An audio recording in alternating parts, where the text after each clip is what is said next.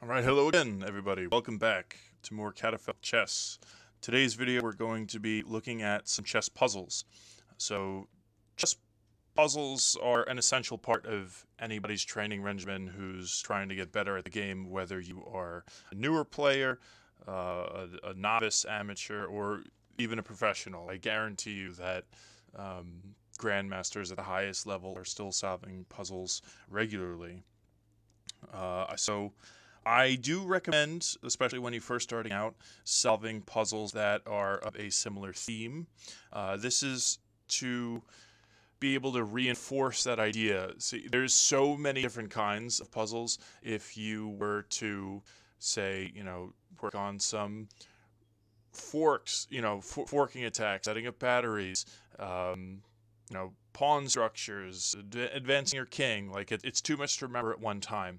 You want to be able to work on individual ideas and reinforce them with these puzzles uh, so that you can use them in your own games.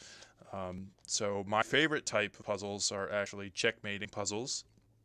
So these can be um, checkmate in one move, checkmate in five moves, checkmate in ten moves. Way too fucking hard for me. but um, I like these checkmate puzzles because once you solve them, it is you know a solid checkmate. It's it's easy to recognize when the puzzle has been finished because you know it's checkmate. Um, I also believe that these are probably the best puzzles to start with for newer players. Uh, I find that uh, definitely when I was first starting out, uh, I could have a tremendously winning position, but I couldn't finish the game. Uh, so these checkmating puzzles will show you some patterns to recognize to be able to checkmate uh, your opponent. Um, so why don't we get right into it? We have this puzzle up on the screen here, and uh, this is right to move. And uh, I recommend as a so there's going to be six of these puzzles. I do recommend um, pausing the video and maybe giving yourself uh, two or three minutes to try to find um, the best move. And uh, you know this is this is a good habit to get into when solving things. If you know you don't you don't want to kill yourself if you don't see it after five ten minutes. Um, you know, check out the answer and learn the the idea is to learn the pattern. Uh, so don't feel bad if you can't find it, but uh, at least if you can't find it, then uh, learn the pattern. You know, uh, try to run through the puzzle a couple of times. That will definitely help you. Um, all right, so the answer for this puzzle is Queen C3. And so what this does, uh, it lines up the dark squared bishop with the queen, aiming at this crucial g7 square. Uh, this is absolutely crushing. If black does nothing, let's say a nonsense move like um, a6, doesn't see the checkmate threat, then um, what you're threatening is uh, checkmate this way, um, with the queen capturing on g7. So this Battery actually sets up an unstoppable checkmate. That is to say, no matter what black does, eventually he will get mated. Sometimes the oppos- uh, your opponent will have a couple of moves to throw in that will delay the inevitable. And it is actually important that you take those moves into consideration. Um, some of them might look threatening while they're actually not. So you do want to be considering these things um, rather than just finding your best moves, you want to look at your opponent's responses. So let's uh, look at the best response for black here. Um, that was a little too fast. It's really only this. Uh, there is basically no other way to protect uh, this G7 square, and you can see this is terrible for black. White has two good responses. He could actually he could capture uh, the queen with either of these pawns, uh, Black does actually have uh, another move that basically does the same thing. He can check. As you can see, that also just gives up his king. Uh, I'm sorry, gives up his queen. But after this, uh, Black has nothing else to do. um, this checkmate is unstoppable. Great. Moving on to the next puzzle. Uh, this is actually uh, black move. Um, and this puzzle is a little bit more tricky. Uh, so I designed this video to choose, uh, select a couple of different patterns. They're all they're all more or less checkmating puzzles, with the exception of one. Uh, but I want to use different pieces uh, in, in in all of the puzzles, just so you know we're not sort of uh, doing a queen checkmate in every um, every puzzle. You know, sometimes you will lose your queen in the game, and you still have to try to checkmate your opponent without it. So uh, go ahead and pause the video again, and hopefully you will have seen Black's best move, which is Rook D2. And if any of you are familiar or perhaps unfamiliar with this little symbol here, this double exclam uh, the engine recognized this as a brilliant move. Um, that is to say, it's more. Not only is it the best move for black, but it's uh, the engine considers it difficult to find. Um, so if you found this, congratulations. This is a fairly tricky puzzle. Um, so let's look at why this is so good. Um, when solving checkmating puzzles, or when solving any puzzles really, you want to look at where the opposing king can possibly move. Um, so while this it, look just looking at white's king right now, so we could see that these escape squares are blocked by our black king. Great. Um, he can't move over here because we have um, a pawn guarding this uh, b4 square. These two squares are blocked by our pawns, uh, which are protecting each other. And um, moving down again is impossible because of uh, the pawn, the our black d pawn. So the only square that black had to move was this um, d3 square. So by moving our rook over, we are taking away all of the squares um, that black has to, or that white has to move. And um, the only thing we would need to do to finish the game is to checkmate him. So now that we played this move, we look at um, black's response, and he realistically does not have uh, any good moves here. Um, the engine recommends. Why is it doing that? The engine recommends h5. Uh, so I just would like to move this pawn up there. Uh, h5 just attacking this, it really doesn't do anything. Um, and it's followed by uh, bishop d3 checkmate. You can see that our bishop is protected by the rook. Uh, the king has nowhere to go. This is an unstoppable checkmate. Um, yeah, even if... See, I wonder what the engine makes of this move. Okay, so it considers this an alternative uh, to h5, trying to guard the square. And let's see. This is interesting, actually. I just want to see. Oh, no. Oh, very interesting. So um, we now the checkmate square actually changes uh, we can come up here and deliver checkmate this way. Uh, white still has nowhere to go. So uh, that is, inter is interesting as well. You you know considering that no matter what white does, it's still checkmate, even though the square on which you're delivering checkmate changes. So that's um, you know definitely something to take into consideration and something that I overlooked, but it is still it is still unstoppable checkmate. Moving on we are on to our third puzzle here. Um, we have white to move. Yes, white to move. Um, so taking a look at this, we can see that um, blacking is not looking too good. uh, he's sort of confined to this um, A file here. Uh, we have our pawn on b6 that is guarded by our rook.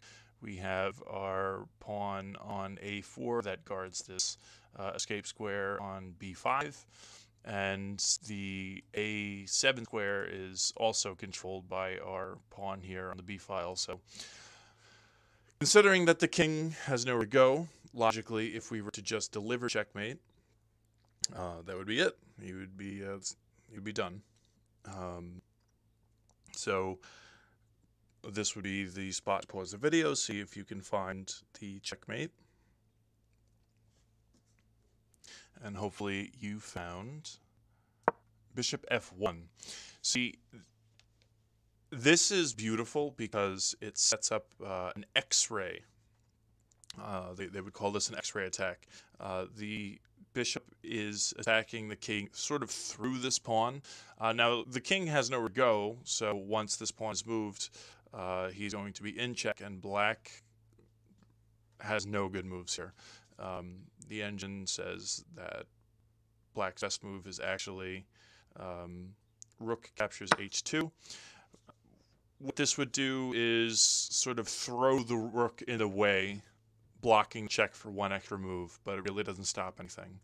Um, as you can see, once we move our pawn up, the king is in check. The only way to block it is um, by putting the rook away. And as, as you can see, this symbol here, this square, is forced, meaning that is the only legal move for um, for black. And we don't want to blunder and take with the king. we want to uh, just deliver checkmate with our bishop here. Very interesting stuff. Moving right along, we have the next puzzle. Uh, so there's a lot of stuff going on here. Um, a lot of pieces still on the board. But um, this is actually uh, an unstoppable checkmate for black. Let's see my notes here. So we're, we're analyzing the position and uh, we have to think ahead a little bit. Um, this, this is a checkmate where um, you're going to have to move a piece multiple times. Uh, so take into consideration what each of black's pieces are doing where White's king can move right now. And just looking at the position a little bit, uh, our rook is in an excellent spot. He is confining the black king to this uh, first rank. Um, and the knight, actually, this is such a strong knight.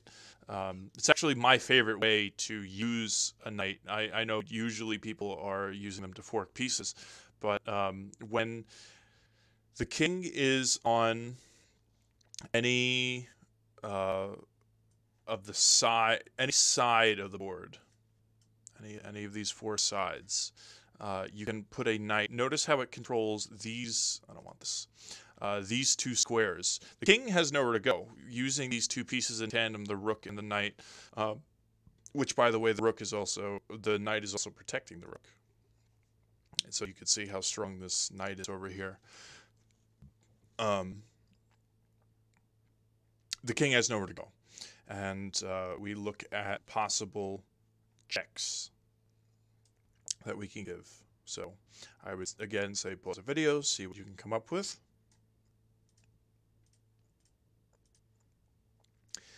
And hopefully you found this move, knight d4. Um, so this isn't an immediate checkmate, but it does set us up for an unstoppable checkmate. Uh, white has no good moves here. Um, notice, no matter which way white tries to stop us, we have uh, a backup plan. Um, so we are threatening these two checkmates. Um, we have knight to e2, which um, White has a couple of responses to, and um, we have Knight to B3, which White actually has no responses to. So let's just say that White tries to move here, uh, which the engine actually doesn't even recommend as the best move. I mean, you're getting mated anyway, so I argue that you have no good moves. and uh, you should just resign in this position. But um, you know, some people say never resign, which I definitely see the logic. Um, black could mess up; he can mess up his checkmate. So uh, if you think there's a possibility that your opponent's going to screw up, then go ahead, play uh, rook e1. You know, try try your best. Uh, so instead of checkmating over here, you just checkmate over here. And um, it's funny, the engine recommends the best move for white here being knight g6, uh, only because that's it's the most product the most productive thing white can do is sacrifice his knight for uh, a check. So some people even call it a spite check. It just sort of prolongs the game an extra move because it forces black to do something about it. Um, and after that capture has happened, then we just deliver checkmate. Um, so that's it. That's uh, white is done in this position. We only have two more, two more puzzles. We're, we're working right on through this. Uh, so this is actually not a checkmating puzzle. This is one that is a little bit different. Uh, I just wanted to illustrate a similar idea, how uh, some of these puzzles can work a little bit differently, but you will see um, oh, I've actually given away the move. um, this one I had to reset as well. Uh, so, I mean, we already saw it, but we can take a look at this anyway. Um, this is white to move. Black is not in a great spot. Um, he, the king is guarding these two squares, which is really nice. Um, so if black were to move onto the A file here, since his uh, well, he can't because uh, this rook is guarding the A file. Um, sorry, I'm like getting my pieces mixed up here. Yeah, okay. Um, so it's white to move, and we see that the best move is uh, c4. But it's not because it sets up a unstoppable checkmate. You see, if black does nothing to stop um, this. It's actually uh, rook a4, which we're threatening. You see now, this pawn now controls this square. This whole file was already controlled by the rook, and our king sort of uh, controls this escape square. Black would have nowhere to go, and this would be a check that's protected by the uh, white b pawn. That uh, that would be a checkmate. Um, Black's only option to save this game is actually sacrificing his rook. So uh, we look at the best continuation move, which is uh, rook b1, and we see that uh, white can just capture, which uh, is the best move. And this game is lost. It is totally, totally dead lost for black. Um, you have a rook and three pawns versus three pawns. So, um, black, yeah, he is two squares away from queening, but you know, let's say he pushes his pawn, which the engine actually considers as a blunder. You just Oh, that's funny. uh, if the rook pushes pawns, you just checkmate. No? Missed win? What's going on?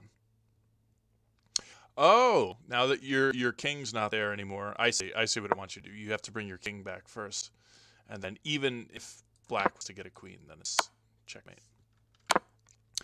Um, so after you take the rook, uh, black's only move is actually uh, trying to escape because it again like now your king can't come back to b2 because the king uh, the black king's in the way. You can't checkmate right away. So what you instead is you swing your rook over and um, black is very upset that he loses his pawn so close, just one square away from making a queen.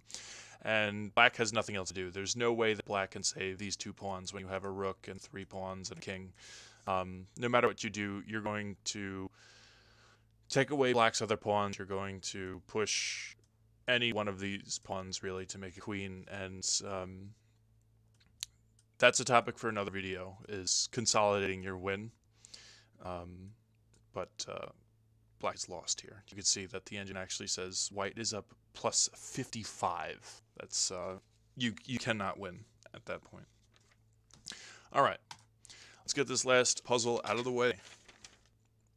So this is a very uh, obviously an endgame puzzle. Um, the endgame puzzles are much less forgiving in a real game sense. That is to say that um,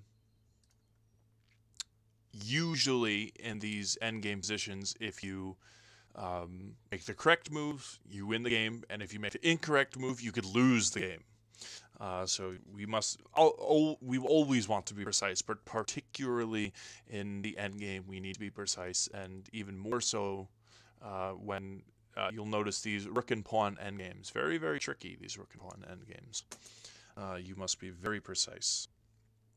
So, um, you know, why don't you, we pause the video here, we see our best move, and the best move is king g3. Um, you will find, I'm going to say 9 times out of 10, because not everything in chess is absolute, that um, when you're in an endgame, the player with the more advanced king usually wins. You can see that uh, White's king has been confined to the first rank by the rook. Um, White's got nothing here, absolutely nothing. Um, this is another situation where White only actually has a spite check. Um, what we're threatening is Rook D1 checkmate. Uh, notice that the, so the entirety of this rank is going to be under attack by the rook once we move up, and these um, squares are all guarded by our king. So uh, the only thing that black can do, white can do, is move his rook over to either the E or the F file. And once we go to deliver checkmate, white can block. he can block checkmate for move, but then we take, and the game is over. And uh, just as a quick note, this position is actually, um, if you only have a rook and a king, and let's pretend that there these pieces do not exist. Uh, rook and king versus king is surprisingly difficult to finish. There's a lot of players that might even just lose on time when they have only a king. Uh, let, let, well, let's say they have rook and the king versus the lone king, and they can't checkmate in time, and clock runs out, and they cry. Um, this is how you do that checkmate. You have to get the king like in a corner in a bad spot, and then you can.